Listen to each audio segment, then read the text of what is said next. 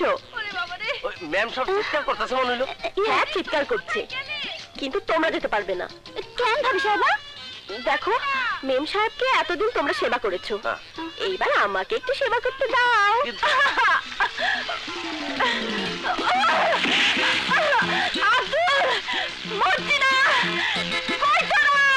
কিন্তু ভাবি উনি হুম? কোনো কিন্তু নয়। তোমরা তো জানো উনি আমাকে দেখতে পারে না। না। এখন যদি তার বিপদে আমি সাহায্য করি তবে আমাকে কত আদর করবেন তোমরা যাও যাও যাও আমাকে একটু সেবা করতে দাও। আচ্ছা আচ্ছা ঠিক আছে ঠিক আছে। আচ্ছা আচ্ছা। আপনি সেবা করেন হ্যাঁ। আমরা যাই। চল চল মর্জিনা চল। হ্যাঁ, চলো। ও, আরে আল্লাহ রে কি হলো? আমি মরে গেলাম। আমি মরে গেলাম।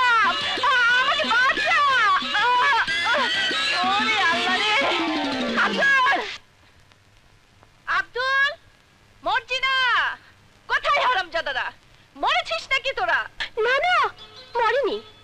আপনি না মরা পর্যন্ত ওরা তো আর মরতে পারে না ওরা আপনার গোলাম।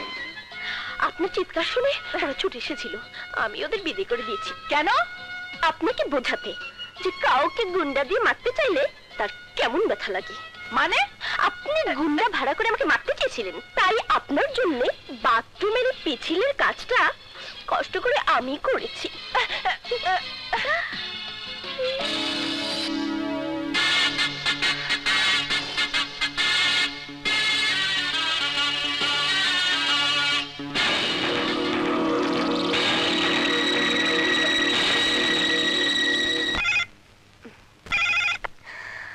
হ্যালো কে কি বললে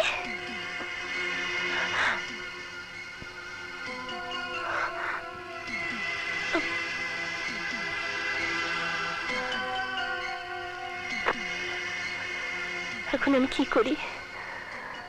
এসব কথা যদি জানাজানি হয়ে যায় তাহলে না না এ হতে পারে না। সে আমাকে এক মাসের সময় দিয়েছে। তারপর তারপর সে বাড়িতে চলে আসবে। সবাইকে সব জানিয়ে দেবে। যদি মা বাবা সজীব ওরা দেখে তাহলে না না না না ওকে বোঝাতে হবে। ওকে এখানে কিচ্ছুতেই আসতে দেওয়া যাবে না। ভাবি? তুমি অমন করে আমার দিকে তাকিয়েছো কেন? না না না কিছু না। তুমি তুমি এতক্ষণ কোথায় ছিলে? বাইরে। ইয়ে, তুমি প্রতিদিন বাইরে কোথায় যাও? আমাকে একটু খুলে বলবে? হ্যাঁ ভাবি তোমাকে সব খুলে বলব বলেই আমি ঠিক করেছি। তোমার সাথে আমার কিছু জরুরি কথা আছে। বলো। তার আগে তোমাকে বলতে হবে। কথাটা তুমি কাউকে বলতে পারবে না। আমার মাথা ছুঁয়ে বলো। তুমি কাউকে কথা বলবে না? যদি বলো। তাহলে আমার মৃত্যু হবে। না না আমি বলব না আমি বলব না। হ্যাঁ তাহলে এসো আমার ঘরে এসো।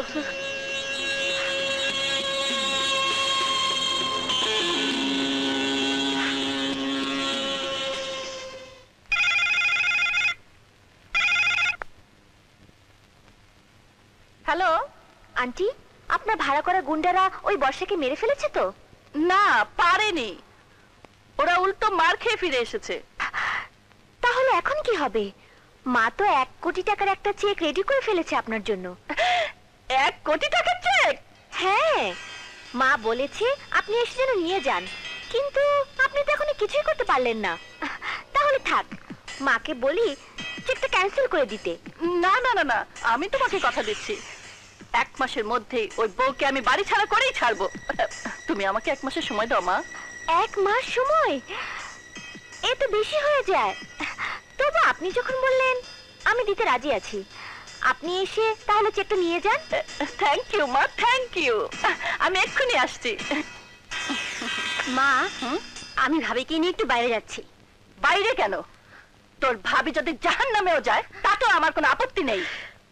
জাহান্নামের রাস্তা তো আমি চিনি না আপনি চেনেন। গেলে আপনাকে নিয়ে যাব। চলো রুবি।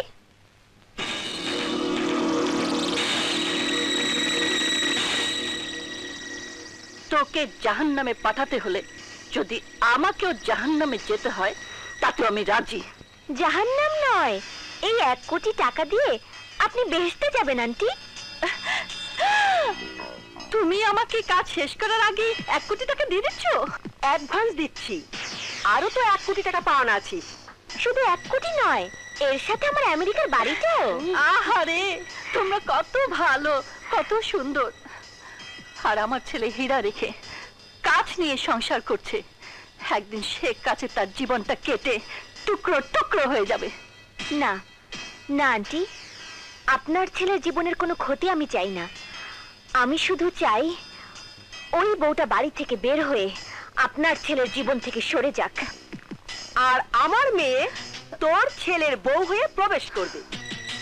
আর তার বিনিময়ে আপনি পাবেন আরও এক কোটি টাকা। আমেরিকার বাড়ি। ধন্যবাদ মারিতা। নো রিটা না আপনি আমাকে বৌমা বলবেন। বৌমা? শুধু বৌমা না বলুন গুড লাক বৌমা। গুড লাক বৌমা। এবার আসুন। এবার আসুন। না না এটা বলতে বলিনি। আপনাকে এবার যেতে বলেছি। ও। কাজ শুরু করতে বলেছি। হ্যাঁ এবার ভয়ঙ্কর কাজ শুরু করব। গুন্ডাদের দিয়ে তাড়াতে পারিনি কিন্তু ওকে বিষ খাইয়ে মেরে ফেলতে পারব। এই বিষটা খুবই মারাত্মক। দু থেকে পাঁচ ফোঁটা পান করলে সাথে সাথে জ্বালা পড়া শুরু হয়ে যায়। যদি এক ঘণ্টার মধ্যে ওয়াশ করা না হয় তাহলে রোগীকে বাঁচানো যাবে না। আর যদি এক ঘণ্টার মধ্যে ওয়াশ করা হয় তাহলে রোগী বেঁচে যাবে তো? হ্যাঁ কিন্তু আপনি হঠাৎ এই বিষ সম্পর্কে জানতে চাইছেন কেন? না এমনি। আমার সাজানো বাগানে একটা সাপ ঢুকেছে। সেই সাপ মারার জন্য বিষটা আমি সংগ্রহ করেছি। কিন্তু এটা সাপ মারার ওষুধ না।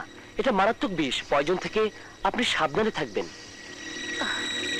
হ্যাঁ হ্যাঁ। অবশ্যই সাবধানে থাকব। বর্ষা, তুই আর বাঁচতে পারবি না। এই বিষ তোকে মৃত্যুর দ্বারে পাঠিয়ে দেবে।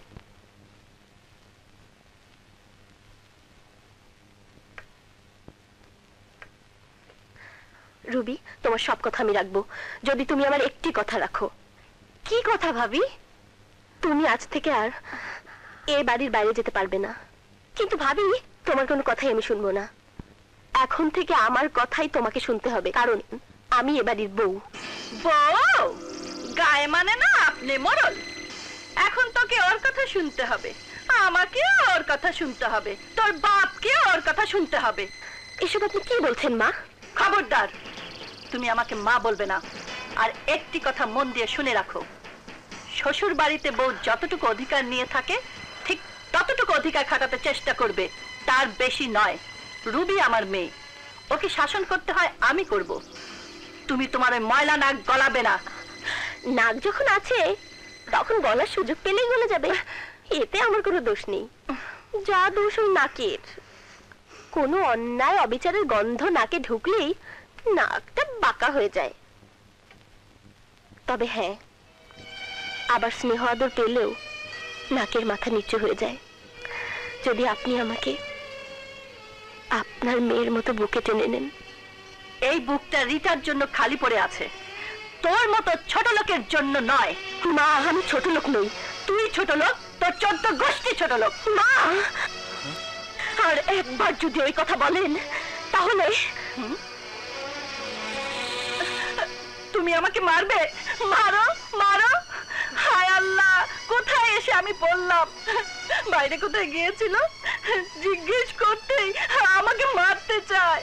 সজীব বাবা সজীব আমাকে বাড়ি থেকে দূরে কোথাও দিয়ে আয়। আমি আর এখানে থাকব না। কি হয়েছে মা? বাসায় এসে দেখি তোর বউ বাড়িতে নেই। আমি জিজ্ঞেস করি কোথায় গিয়েছিলে? এটাই নাকি আমার অন্যায় হয়েছে। তাই আমাকে মারতে চাইছে। আপনার সাথে আমার কথা বলতে রুচিতে বাঁধে। ঘৃণা হয়। আপনি মা না আপনি মা জাতের কলঙ্ক। এত মিথ্যে কথা আপনি বলতে পারেন? বর্ষা! তোমার এত বড় সাহস। তুমি আমার মাকে মারতে চাও। তাকে অপমান করো। এসব তুমি কি বলছো সুদীপ? যা নিজের কানে শুনেছি তাই বলছি। তুমি কোথায় গিয়েছিলে মা তা জিজ্ঞেস করতে পারেন না। তার জন্য তার জন্য মাকে তুমি ভাইয়া! খবরদার রবি আমাদের মাঝে তুই কোনো কথা বলতে আসবি না। বর্ষা তুমি এক্ষুনি মায়ের পা ধরে ক্ষমা চাও। ক্ষমা চাও? না না সজীব ও না হয় ভুল করেই ফেলেছে। ওকে ক্ষমা চাইতে হবে না। আমি ওকে ক্ষমা করে দিয়েছি। বৌমা তুমি সজীবকে নিয়ে ঘরে যাও। ওর মাথাটা ঠান্ডা করো। যাও।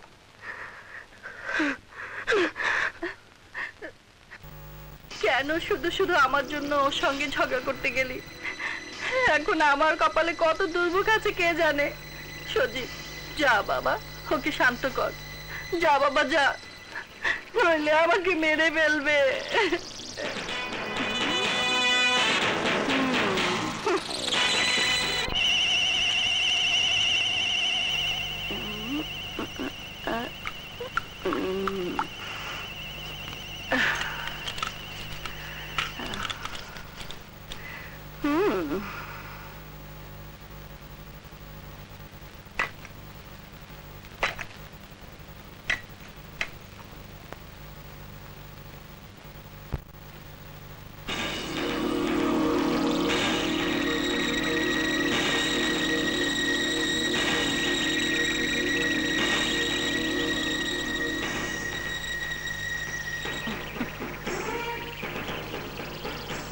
সাথে যুদ্ধের ফলাফলটা দেখেছ?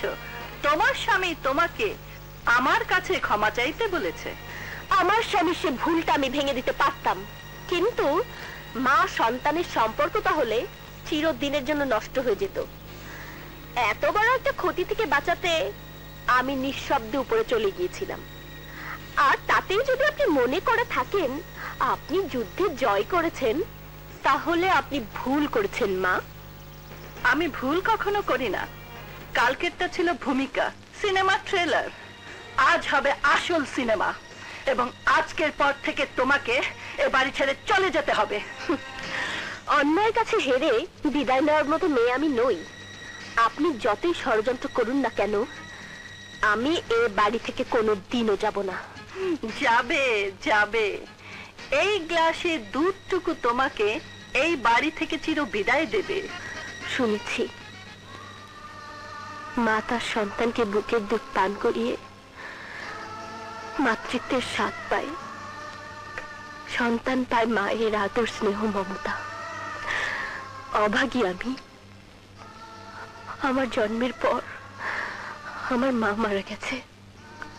মায়ের বুকের দুধ এবং আদর, স্নেহ, মমতা কিছুই পাইনি।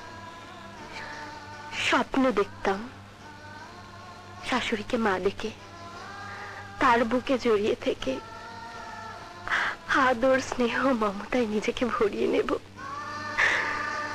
কিন্তু আমার সে স্বপ্ন আপনি ভেঙে খান খান করে দিয়েছেন, মা।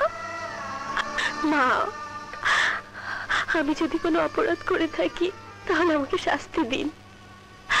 কিন্তু আপনার বুকের স্নেহ, মমতা থেকে আপনি আমাকে বঞ্চিত করবেন না। আপনার পায়ে আমাকে স্থান দিন।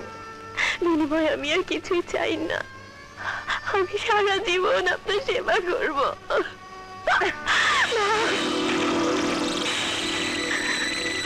না। তোর স্থান এই বাড়িতে হবে না। আজই হবে তোর এই বাড়িতে শেষ দিন।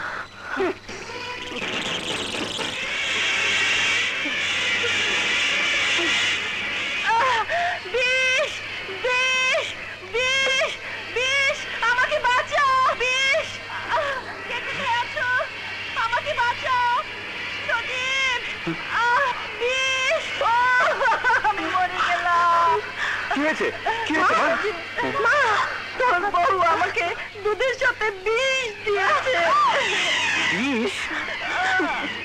বিষ দিয়েছি আমি। সংগীত কাল তুই তোর বউকে ক্ষমা চাইতে বলেছিস বলে আজ সে প্রতিশোধ নিতে ও আমাকে দুধের সাথে বিষ খাইয়ে দিয়েছে। আমার কথা সব মিথ্যে কথা। মা, মা মরে গেলাম। আমাকে হাসপাতালে নিয়ে মা। যা বাবা। মা। হাসপাতাল। আব্দুল আব্দুল ড্রাইভারকে গাড়ি বের করতে বল। জলদি।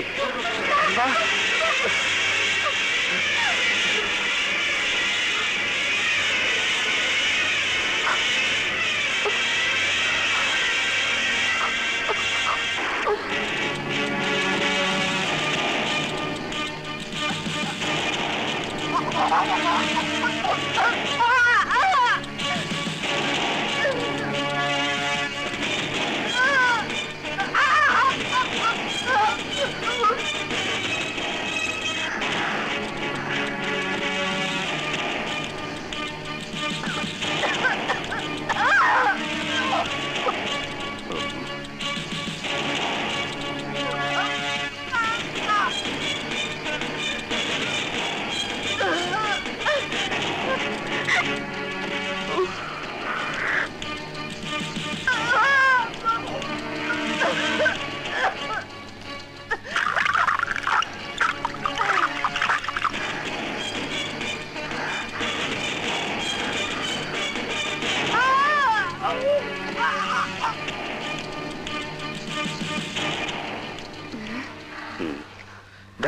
এখন আর কোনো ভয় নেই। সমস্ত বিষ ওয়াশ করে ফেলে দেওয়া হয়েছে। ডাক্তার সত্যি কি বিষ ছিল? হ্যাঁ মারাত্মক বিষ ছিল। সময় মতো নিয়ে এসেছেন বলে বেঁচে গেছে। হুম। দেরি হলে কিছুতেই বাঁচানো যেত না।